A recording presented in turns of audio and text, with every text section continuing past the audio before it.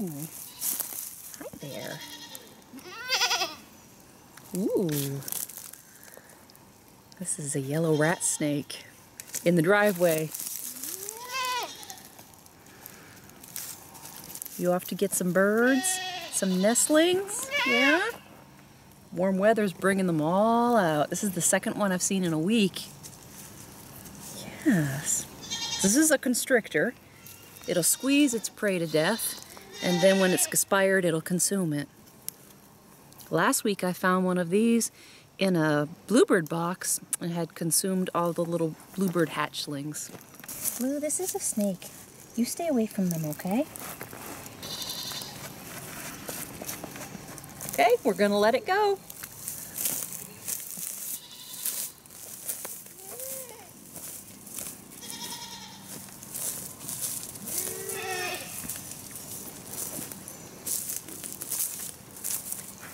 Oh my goodness.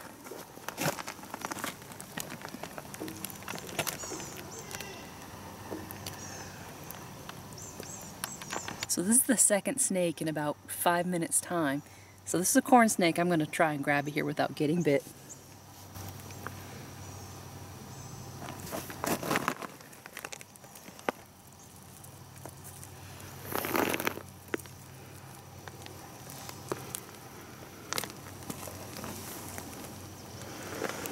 So beautiful. Look at the colors. Another constrictor, just like the yellow rat snake. You don't see this one as often though. Red rat snake, corn snake, is a constrictor just like the yellow rat snake we saw briefly a little while ago. And um, this warm weather, a little bit of rain that we had yesterday, is bringing them all out. They're very active and they're looking for prey. All right, we're gonna release this beauty, let it go on its way and do what it's gonna do.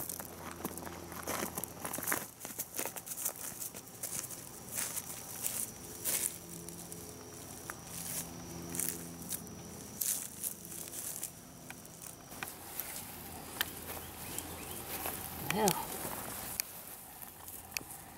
there's a snake in this potato patch. This is a shed snake skin, so means there's a snake in here. We're gonna find it.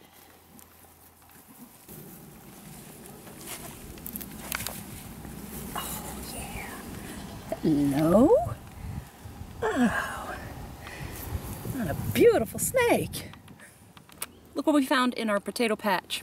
This is a red rat snake, often called a corn snake, and this is one of the good snakes. This is a constrictor tends to go after rodents, maybe small birds. And in this case, this snake was after the rats or mice that were eating the potatoes in the potato patch. So we're gonna go ahead and release this beautiful snake, put it down in the hay mulch, and let it go on its way.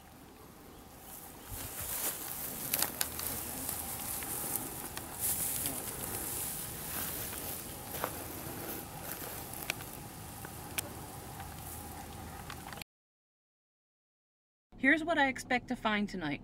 A whole bunch of southern toads, maybe some tree frogs on the driveway. If we're lucky, maybe we'll see a rat snake or two.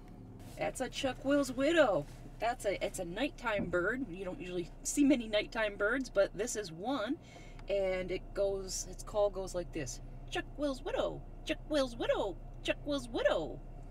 Look at this cute little toad. It's a southern toad. There is a bunch of them out tonight and they make a pretty shrill little call when they're mating and that's what we can hear. We're driving on the back roads they go like that this is an amphibian it's not a frog it's a toad so it's more terrestrial and they're out all over the roads tonight because we had a good rain so we're gonna see dozens of these isn't it cute here we have a beautiful southern toad it's an amphibian but uh, it's a toad not a frog and that means it's more terrestrial and it's out on the dirt roads after we had a good thunderstorm and everyone is out and active.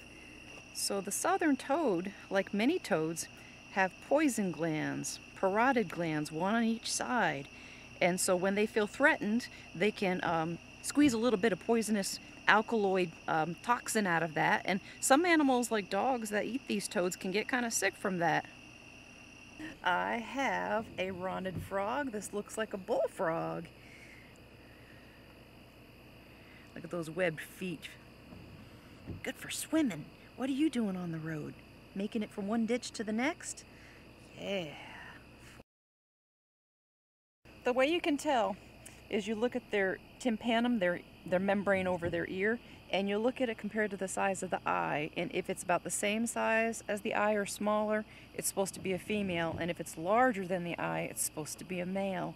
So this looks like it's probably a girl. Boys have bigger ears, maybe so that they can hear other males calling and they can kind of gauge the competition. At least that's that's what we suppose.